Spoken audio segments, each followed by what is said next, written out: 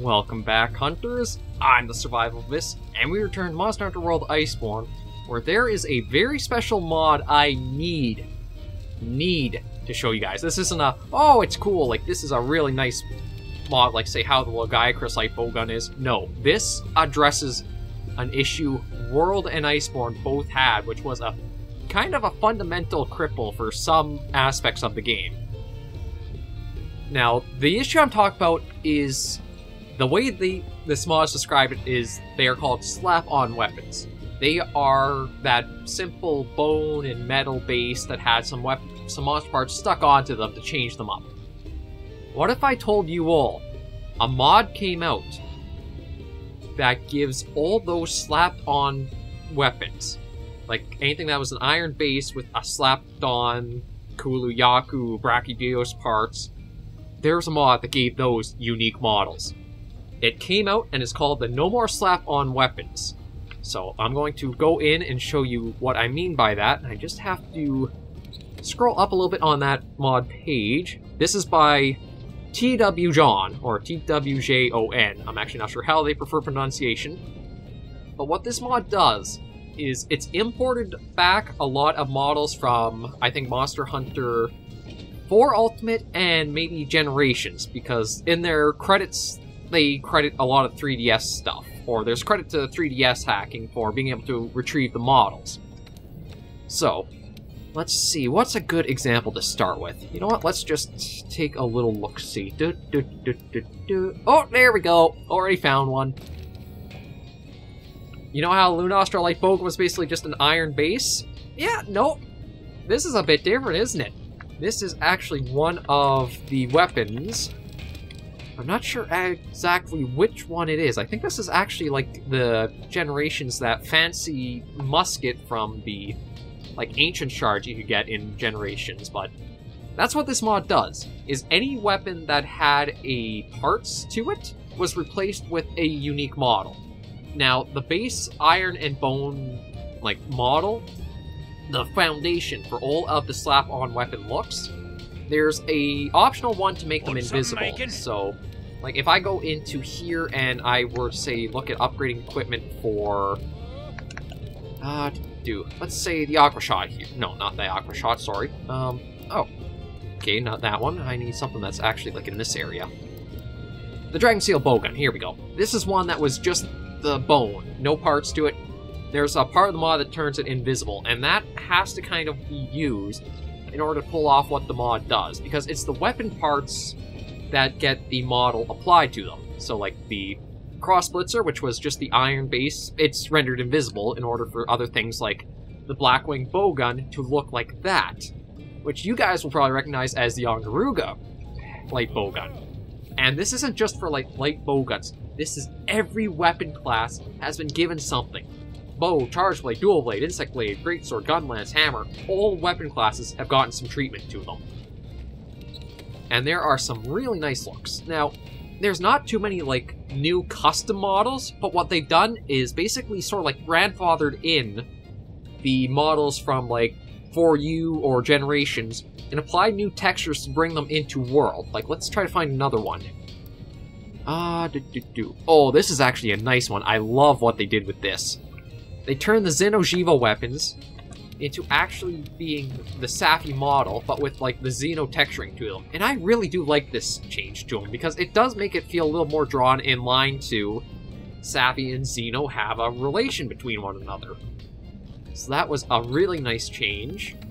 And I'm going to show some heavy, some light and heavy bowguns because like this, this addresses one of the biggest problems that there was in World of the Iceborne so well.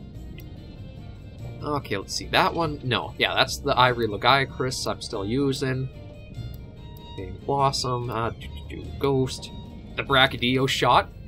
We got the Brachy light bowgun from Raging Brachy, but this is what it looked like just as regular Brachydios' weapon. And another nice thing about the light bowgun and the heavy bowgun is you can actually augment the equipment so they have their proper like silencers or long barrels to them. Like, I can change that out of silencer or just take it off entirely, or it's on. Like, this is amazing what's been compiled together for this mod, and as long as you have I'd probably recommend getting this once you have the base story of Iceborne done, so that way you're not using a weapon that's mostly just like an iron or bone base and it's become invisible for you. But there's Nargacuga has its light bow gun back, and it has, again, the double barrel shotgun or the like owl face. It's just amazing what they've been able to do. There, I do see a little issue where it seems to have retained the light for the scope, but that's not too... Like, for what you get for the rest of the model, I have no issue with that little hiccup, or that little problem there. I mean, not even a problem, just a little something left over. But then there's also new ways, like, this is Beotodus' light bowgun now. It looks awesome. And this is actually the Zamtrios light bowgun, which perfect way of blending both the old model and bringing it forward with the new. And then it even does have the Zamtrios light bowguns change up where you have the I gotta find it in here. Where you can give it the long barrel, which is actually like the shark jaws clamped together and sticking out like that. So it is amazing what this mod is able to bring forward and how it can change up like all your Oh lord, what? Okay, I guess ah, I guess this controller has a little bit of a stick and trigger. The Fulgur shot is another nice one. I actually this might be a complete custom model the more I look at it because like I don't know what they would have used before it, but this is amazing. And another thing is, if you watch the silencer there, you actually have like the light effect that the armor gets. And this is another one That reminds me. where it actually might have more of like a custom uh, power barrel to it. Like, let's, yeah, long barrel, that's it. So there are things like that which have been brought in, so you, these things look like they have their own custom models some in some ways, or other ones, they are models that fit the monster previously for things. Like, let me try to find... We'll do one more light bow gun, and then we'll move on to some heavy bow guns. Da, da, da, da. Oh, there's a classic. Now, the Silver Rathalos light bow gun was basically just, again, the simple iron or bone. Now, it's the proper Argent Ray, which is kind of like how the Rathian light bow gun was. Like, it's stuff like that. It's incredible that this was able to be brought in like this. And it's an ingenious way of working within the limitations, but also surpassing them. Like, take a look at Seething Basils now. And I do recognize the base of it. This is actually, I think, the Seltas Queen's light bowgun. But it's been so modified, you might have a hard time recognizing that. Like, it's this kind of ingenuity and also really amps up some weapons to make them amazing. I think that's it for the light bowguns I'll show you guys. But then, like, Glavenus and Acidic Glavenus have gotten that treatment as well. And as for heavy bowguns, let me try to find a nice one. Royal Light Cortege, no, that's not one. Uh, da, da, da. Okay, this is a good example of why I say, like, the weapons and the parts have to be a bit different. Now, this is the Lunastra heavy bowgun, and it's... Yeah, it didn't have the cannon before, but because it has the slapped-on parts of Xeno'jiiva, you kind of have this weird cross between them. So if you're going to use any of these weapons as, like, a layered look, you'll have to take off the... I think it's the parts you need taken off. We'll actually check that right now. Just that way I'm not giving you guys any misinformation regarding it. Yeah, you'll want to take the parts off, and then the base is the main look that you'll want to keep for the weapons. You can do some odd amalgamations if you want to leave the parts on, I suppose, but I think for the best results, it is to just take the parts off and use the base, but then there's...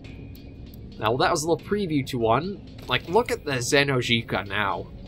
Like, I have to admit, this was a really great idea of using the heavy bowguns, or the Xeno stuff, to relate with the Safi.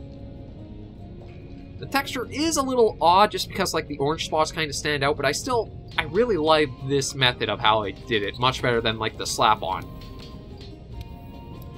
And then let's see, where's another one? Oh, this is actually a really unique looking one. I'm not sure. I feel like this could even be like a full custom model. But this is the Namielle Heavy Bowgun now, and you can see it is glorious. Take a look. Oh, I didn't even notice that the power barrel is like the tridents on it. It's just amazing to see what they could do with it. I really, I really feel like this could be a complete custom model, but I may be mistaken on it too. It's just, some of them are very well done and they add so much more to monsters that really could have used these unique looks. Ah, do do do. Ah, where's another good one? That one. No, not that one, not that one. This is an interesting one for like Tobi-Kadachi. They use the. I'm trying to remember what the name of it is. It's, I think, sort of like a crossover-ish kind of weapon, but it still kind of fits Toby because of the texture work on it. But it's cool things like that which really have me so impressed with this mod and just like, oh, oh, here's a good one. Dodogama had just like a basic heavy bowgun. Now he's got basically like a giant magnum revolver that you can use. It lets you really open up looks and it's to me, it really does solve that one issue that Iceborne has had. And I am, I'm going to be a little biased because of one I'll be showing you guys. Well, this is one of them. Like, you guys know how I really like the Honk Tonk gun from uh, 3 Ultimate with Qurupeco. A perfect fit for Curl Pukei-Pukei. This is just the Qurupeco gun with some texture work changed, and it looks fantastic. Like, Oh, these are amazing. I can't show you all 14 weapons of like all the different ones, but I, I'll leave a link in the description of the video where you can check this mod out for yourself, and I would recommend it. It adds so much, and I do admit I have a little bit of a personal favorite among them, because as you can see, one of the my favorite heavy bow guns that I've been using in the 3 Ultimate series is available to be used too. The Flatadeus Mobideus whatever you want to call it, Ceadeus' heavy bowgun is here and you can use it. Oh, it's just so amazing. I actually want to check and see, could I oh. augment this to actually have both the power barrel and a shield on it at the same time? Oh no, that's going to be a customized bowgun option. Like, am I actually going to be able to mix the two? Because that's one thing about the current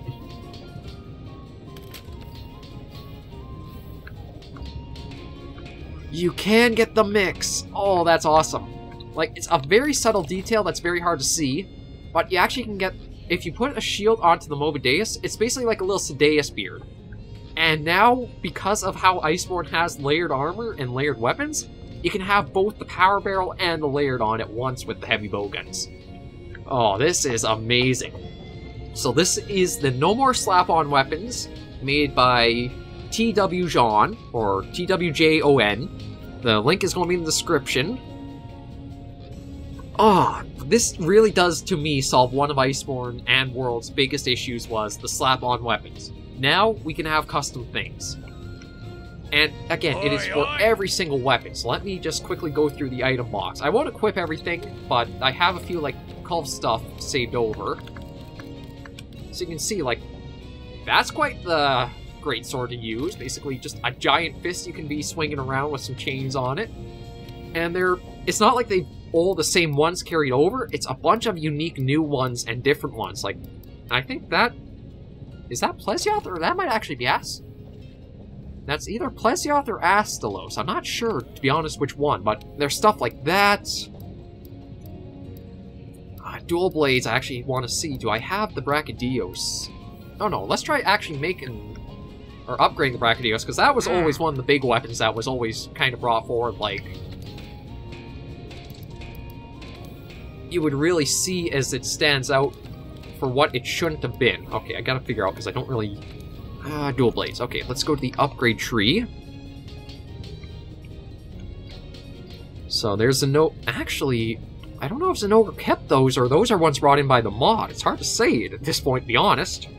Yeah, so so Zitsyaku actually has a unique set of dual blades, which are like those big fans. There's the hidden tomahawks for Narga. Basil Bombers got some... Actually, I think that's... Those might even be the Gypceros dual blades. It's just amazing what they've done with the mod. Like Brute Tigrex and Tigrex. This is an interesting one where you have the Golden Rathian and Silver Rathalos mixed like that. Uh, do do do do. Come on, Anjanath. Uh, Fulgur Anjanath. Ooh, actually, they've got a different look, so I can't really see them from the preview. The Acidic Glavenus got a new pair, that's for sure. Banbro. I think Banbro got a new pair too, because those do not look like they were standard issue for World and Iceborne. Totus there. Oh yeah, that's definitely... Like, look at that for Dual Blades. This is where... Oh, this mod is done so good. Yeah, there you go. Proper Brachydios uh, Dual Blades. And let's say you want a Glavenus Greatsword. They got you covered. They got you covered. I just gotta find it. There it is. They got you covered with the proper Glavenus Greatsword. And I think, is there even uh, an acidic Glavenus? Oh, maybe not. I thought was, that was one maybe that we would see, but... Yeah, so they've got you covered for, like, a lot of new weapons that just didn't have unique models before. And it's very, very good to see. Oh, there is an acidic Glavenus right here. And you can see it is the proper retexture of the Glavenus, so... Again, I'll leave the link in the description for you guys. I just had to do a video on this because it just fixes one of the things that was always kind of really obvious and apparent with Iceborne and World. So thank you very much, TW John, or again, I apologize, I don't know your favorite pronunciation of it, TWJON. This has been amazing, and I hope bigger channels also showcase this because this deserves all the attention it gets. It's amazing to see how you were able to take these old models, not only bring them into World and Iceborne, but also change the textures to make them fit so well. Oh, it's incredible. I'm going to leave this here before I keep rambling into another rant about it, but again, link is right in the description. You guys head there, you can get the files for yourself. It's pretty straightforward installation.